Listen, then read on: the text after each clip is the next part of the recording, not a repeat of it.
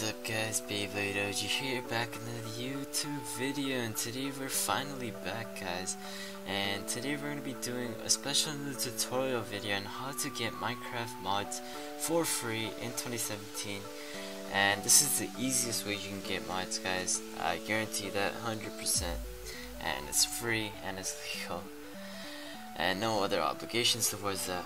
So guys, and I'm really sorry for not like uploading for a while and I've been like been saying that from my from like my recent uploads and I'm really sorry about that guys. I have a really starch and heavily uh, packed schedule throughout the summer so I wasn't able to like dearly upload and commit to YouTube.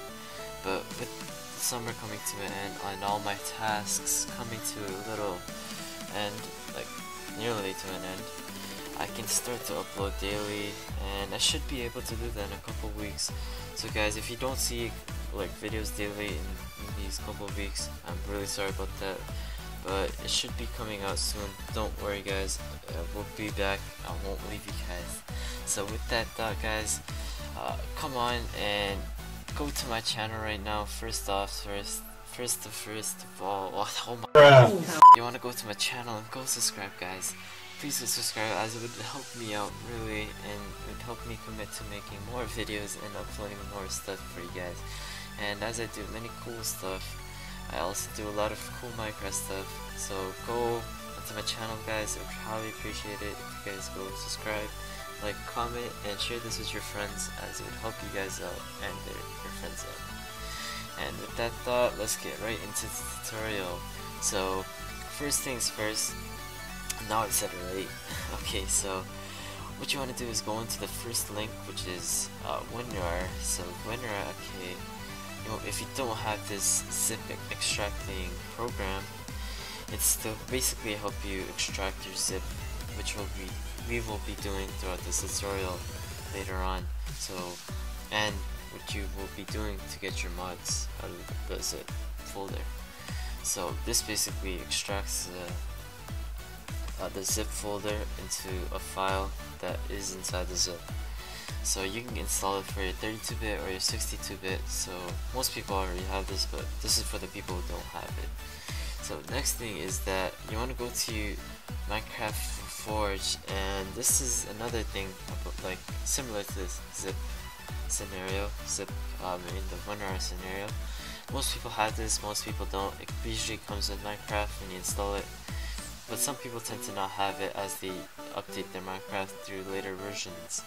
So depending on what mod we're going to be downloading in step number 3, you're going to be, you have to know which mod you're going to get for the forge. So with that thought, we're going to be going to the next step, which is step number 3. So this is Skydaz, we'll be going back to Forge. So basically this site is a Minecraft installer slash tool mods mad, maps and texture pack. Like uh, basically an info page on where to get your mods and everything else.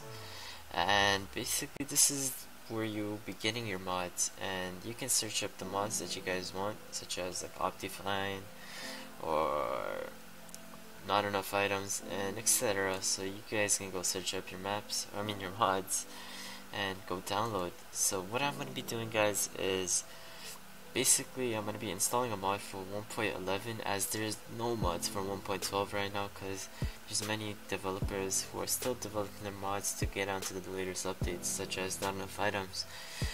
And most of the big mods such as not enough not enough items optifine all these big mods are all the way here. And there's many many many mods that are in 1.12 1.11.2 and the further ones. And these all mods go all these mods go back to the previous updates such as 1.2.5 so with that fact I'm going to be installing a mod for 1.11.2 but you guys can go search up the mod that you guys want for your specific version. And what you want to do once you find your mod you want to go continue reading. So I'm just going to go for the first one enhanced visual mods and what you're gonna you're gonna get onto this page and once you get onto this page there's gonna be like a couple of videos to help you guys out with the mod and you can ignore it or watch it but you want to go all the way down to the downloads page and you want to click download here zip and it'll give it like a little pop-up ignore this WinRAR X has expired. And what you want to do is minimize this uh, uh, Chrome and once you get the pop-up you want to extract it to your desktop and it'll take like less than a second and you can close that off and you can leave this here for now.